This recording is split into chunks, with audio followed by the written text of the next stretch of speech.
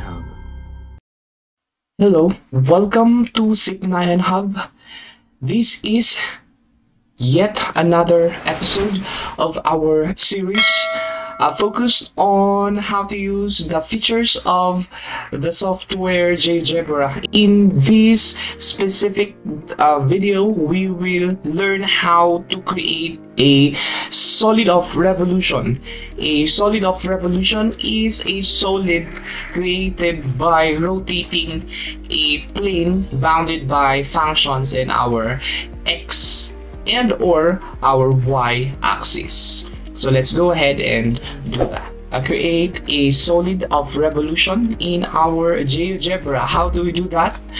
The tool for that is actually found in this toolbox. It's the last one, Surface of Revolution. The other tools were used in the previous presentation.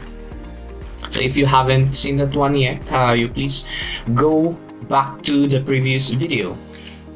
Okay, so before we actually can use this one, we need first to identify uh, uh, the function that bounds a plane area because what we need here is uh, a specific area. We're going to rotate that area to create the desired uh, solid. So I have prepared here already three different functions. The graph of these functions will be used to create the area that we want and then that area will be rotated. Our first function is actually just a line defined from negative 2 to positive 2 I mean the, the x values. I integrated a restriction in our functions. So eh, h of x equal to 4 but x starts from negative 2 and ends with positive 2 this is of course plotted in our xy lane so that's uh, our function looks like if we are looking at top view. So anyway that's our first function. Our second function is actually cubic. It's x minus 2 quantity cube restricted from uh, 2 to uh, 4 only. And then we have a quadratic function here. So that's this is our quadratic function are restricted from negative 2 to positive 2. So we're going to use the area bounded by these functions. That area will be rotated to create our curve. So let's go ahead and uh, rotate the area bounded by this curve using this command here, so surface of revolution. So just click on the tool and then click on the function and then uh, click anywhere in our 3D graphic, it will give us the solid uh, obtained by rotating f of x equal to x squared with respect to the x-axis because we can rotate an area in two ways. Uh, you either rotate it with respect to the x-axis, the axis of rotation is parallel to the x-axis or parallel to the y-axis.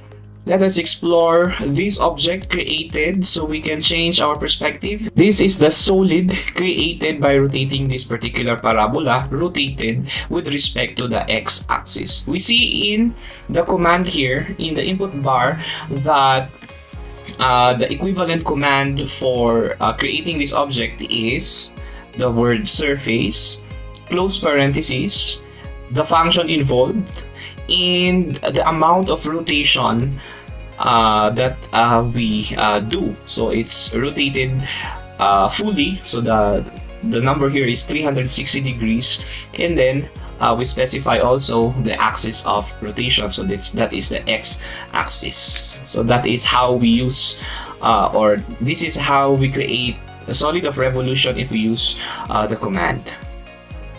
So let's remember this one what if I want to rotate uh, this object half full? Or that means uh, the angle of rotation is just 180 degrees. What happens it's actually the same. It's the same object but rotated uh, one, uh, 180 degrees. So we see only half part of the solid. So let's go back to 360 degrees what if we change the, the axis of rotation to y-axis? So simply change that one. It is completely a different solid because the rotation is different. So this is the solid created using the same function, the same it's the, the same parabola, but we changed the axis of rotation. That's why the solid of course changed. So that rotation is uh, in, is with respect to the y axis. We can do the same for the other functions. Let me quickly show you that. Here is the solid form by our cubic uh, function let us zoom it in so that we can see it's very tiny actually that's how it looks like what if we change the axis of rotation to y-axis.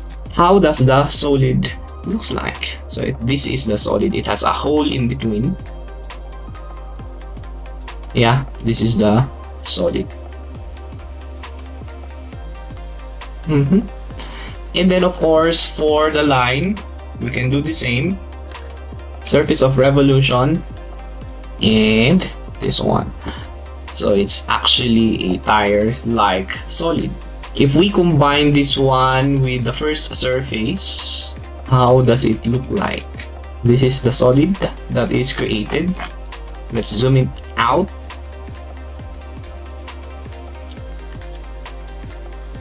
It's like a tire, but not exactly, because there's no hole in the middle.